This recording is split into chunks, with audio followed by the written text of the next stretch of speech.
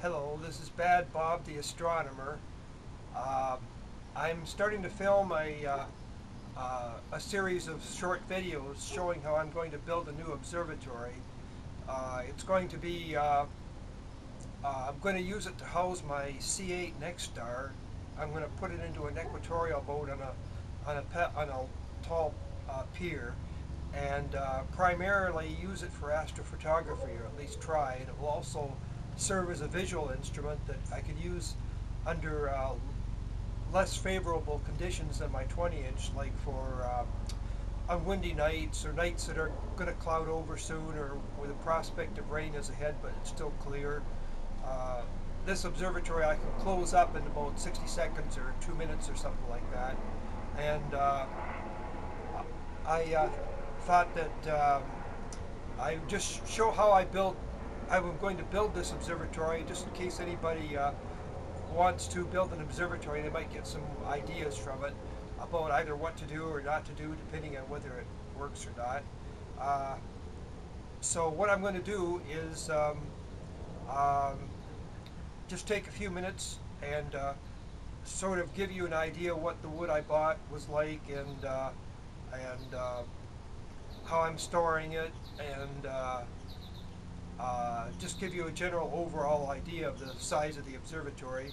It's going to be uh, a little over nine feet in diameter, uh, at, and it's going to be shaped, shaped like a cylinder standing on end.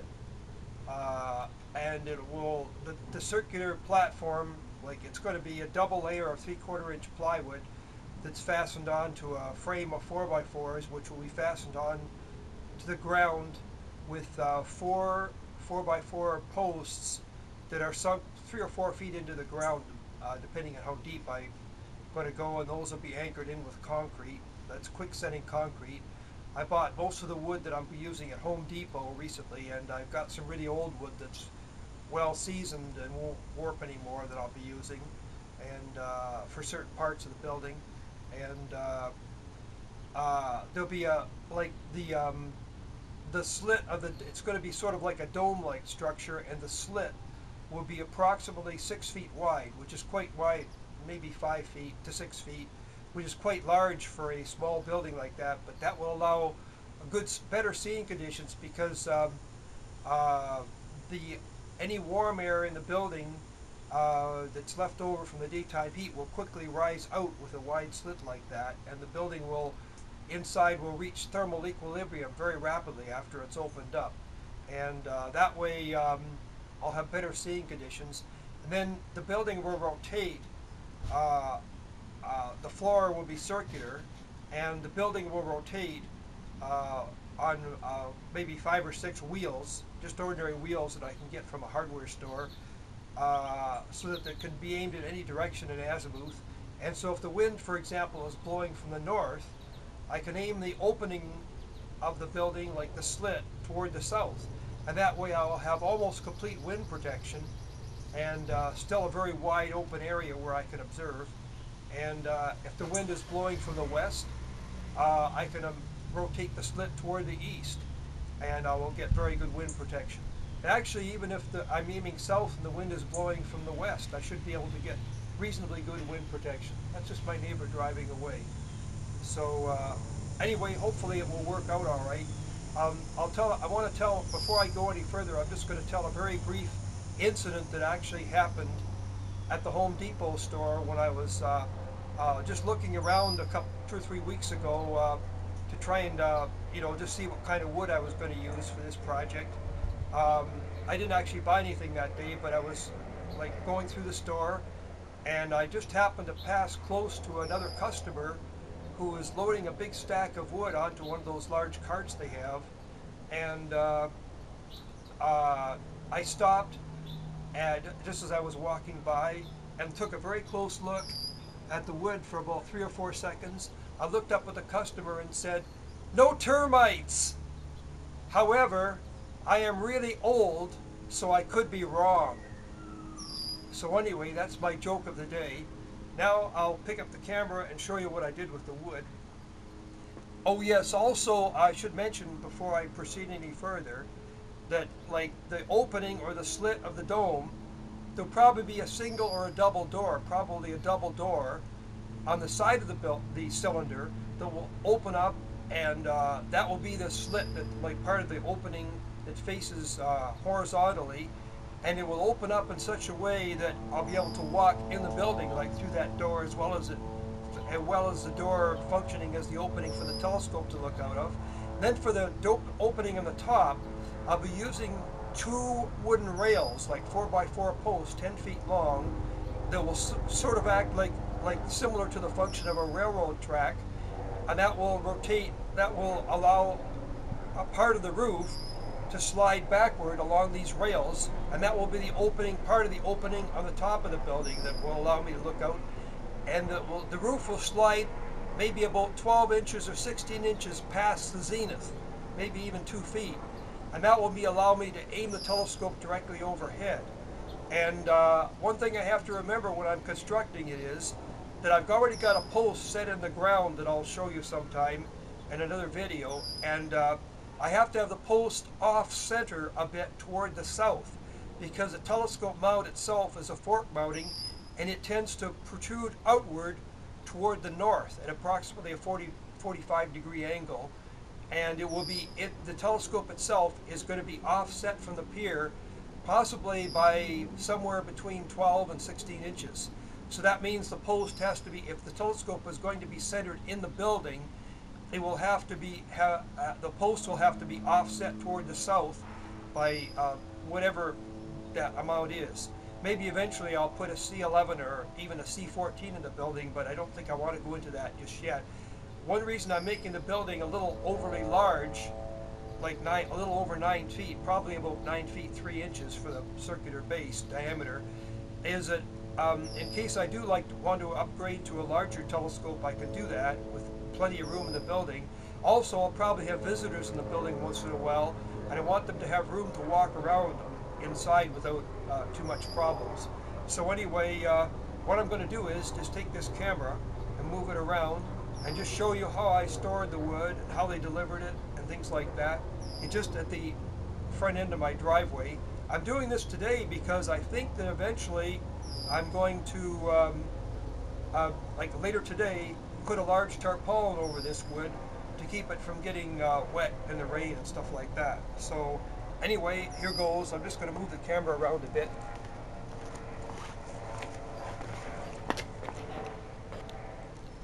I'm not too coherent today exactly because I just got up a few minutes ago. I'm half asleep.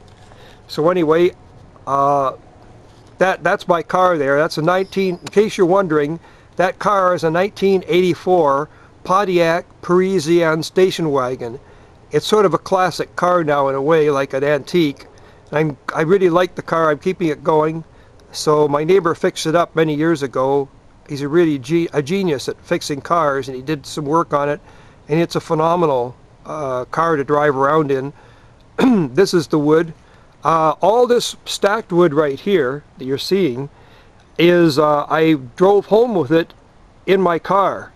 It can that car can hold up to 10 foot long boards if I don't put too many in at a time. And uh, um, what you're seeing there is just the end of them and you could see how I clamped them together with very long clamps I, di I didn't have quite enough uh, room under the clamps for both for the whole pile of wood so I made a second stack of four 2x4s. These are pressure treated boards 10 feet long. Uh, the Home Depot allowed me to uh, pick them out myself so that um, uh, I got was able to pick them out very straight and I've got them clamped together like that all in a stack two different stacks actually with with uh, stuff under them to keep them off my driveway like directly off it, like little boards underneath. And the reason I clamped them together like that was because uh, that oh, as they see as they sort of uh, season over the next few months, uh, they'll tend not to warp. They'll tend to stay straight, which is what I want. And I'll show you the 4x4 pole straight down here. Okay, you can see the ends of the three ones right there at the bottom. Those are um, 10 feet long, pressure treated, and they're quite straight. They just warped a tiny little bit at most. So I'm hoping the clamping action will keep them from warping anymore. Two of those, I'm not sure which ones, whatever they're the straightest, are going to act as the rails like a railroad track for the, little opening on the, the roof to open up on just by rolling back. And then these others are going to be part of the probably part of the frame of the building. These are um, two by fours that are pressure treated and 10 feet long.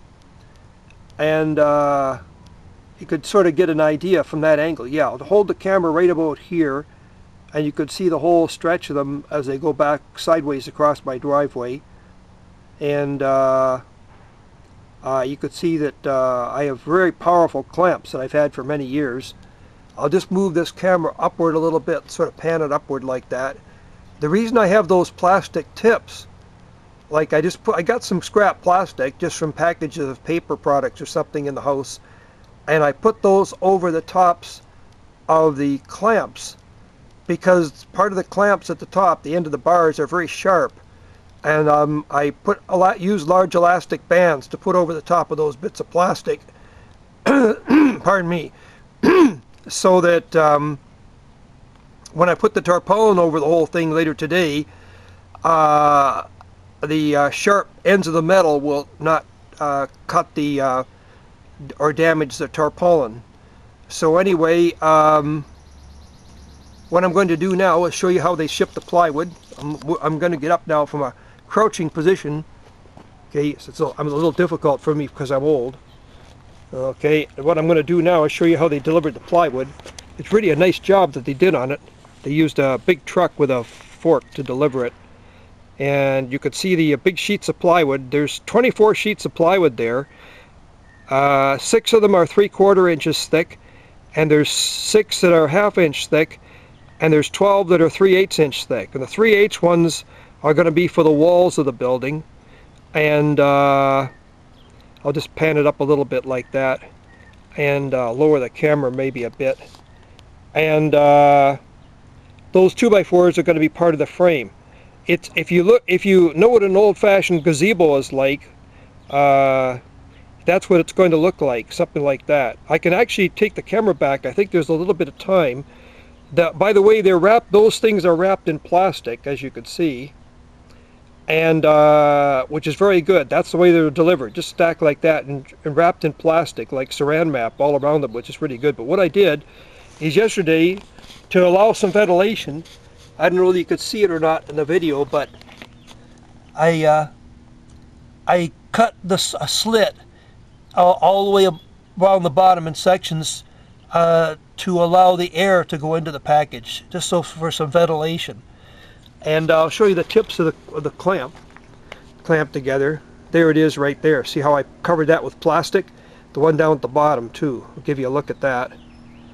Okay, now uh, I've got a little bit of time left on the video before it hits the 15 minute time limit. So what I'm going to do is just take a quick walk through the passageway between my house and my garage, just like this. It'll just take about a second. I'm going to show you my gazebo, and this will be the general shape of the observatory, just like this. I'm walking into my backyard. There's my observatory that's open right now to the sky. You can see there, you've seen that before in other videos. And this is my gazebo right here. I'll step backwards. Yes, I don't have much time left before the 15 minutes expires, so that's my gazebo right there. Pardon the appearance of everything. I'm going to be doing some work on my property, uh, painting it up and stuff like that. But this is the, that's the shape of the building. You can see it's an octagon, which will be somewhat similar to the shape of the observatory. And uh, that's basically the way it's going to be shaped. So anyway, that's about it. Uh, I've got a little bit of time left, I think, so I'll, I'll just uh, walk back. Just hold this a little better. There it is. I'll just kind of walk by here. Just walking along through, you can see my shadow preceding me.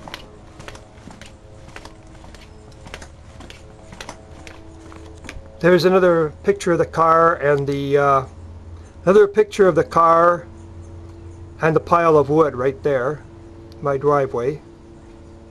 So uh, I'll probably end off with that right about now.